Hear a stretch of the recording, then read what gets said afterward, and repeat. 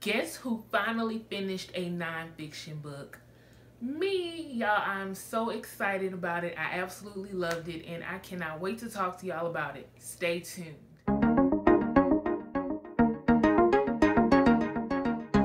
Welcome back to Books with Kimberly.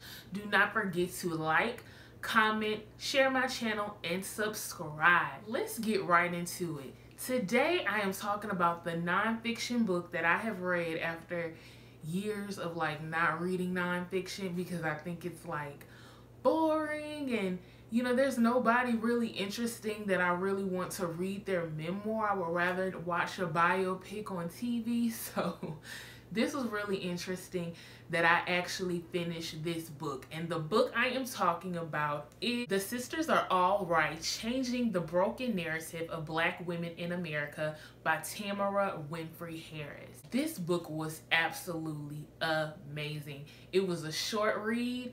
I listened to some parts of it. I read some parts of it because I actually wanted to take notes. I felt like this was the right nonfiction book for me because I could relate to so many parts of it. Tamara starts this book off with just talking about how much she loves black women. She loves the Divine Nine black women. She loved the women who work here, the women who are mothers, the women who are this, and it just felt like a hug and it felt very inviting. Like she was inviting me as a black woman to read this book and to find myself in this book and some of those narratives that do plague me in my day to day. Some of the things that she talked about in this book was the broken narrative of black women and how there are some stereotypes. I think she went over four or five stereotypes that really plague how people look at black women. And these narratives, they are what people use to keep black women down in America. It's the reason why some of us can't get corporate jobs or why we are stereotyped as like ghetto booty shaking women who can't get a job, uneducated, nobody wants us, we're forever single, single baby mamas, like all of these negative narratives are because of these stereotypes that are from years ago that are still plaguing us. The world won't have enough compassion for black women to let go of these stereotypes. One of the stereotypes is the mammy, which a lot of you probably have seen the movie Gone with the Wind and when there is this character, she's a plus size, very dark skinned with afro features, black woman who is subservient to white people. She's very obedient and loyal to taking care of the white people. Tamara goes on to say like this is why people do not see black women as attractive in this country and why it's been so hard for us to break into the beauty industry is because the beauty industry sees this skinny blue eye, blonde hair, white girl as the standard of beauty, and they see black women as the mammy character. She also talks about Sapphire, who is seen as this strong black woman who is feisty, and that's where the stereotype of angry black woman comes from. There's the Jezebel, who she's very overly sexualized and she uses her sexuality to lure men. And this is where a lot of black women get a lot of flack. Whatever we wear we get labeled as negative characteristics because of what we're wearing. Our bodies are constantly being policed. This is because of that stereotype of the Jezebel. There's also the matriarch of the family who had to really step in and really lead the family in a way. And because black women have had to step up and lead their families that's where this narrative of the strong black woman comes from. And why so many black women are single is because they're trying to lead the black family and just a lot of these narratives.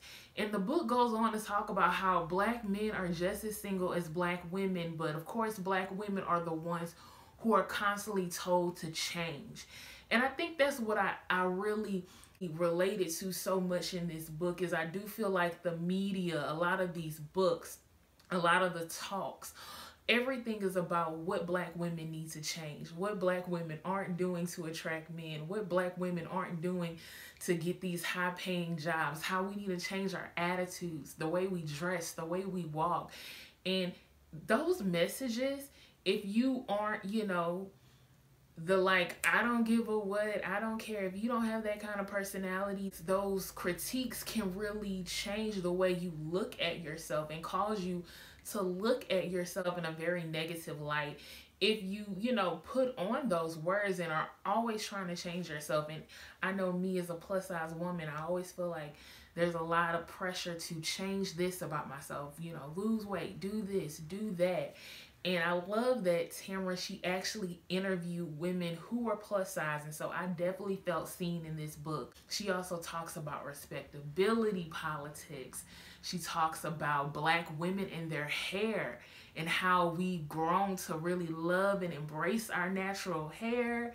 She just talks about so many topics. Motherhood, the strong black woman, how black women have this pressure to always be strong. Sometimes we don't want to be strong, have to be strong all the time. I absolutely love this book and I just really feel like every black woman out there, and even if you are not a black woman, read this book to see just what we go through and why we have Black Girl Magic as a campaign, melanin, black women, all of these, you know, support black women, why we have all of these hashtags while we're constantly trying to get people to see us for who we are and that we're not a monolith is because of these stereotypes.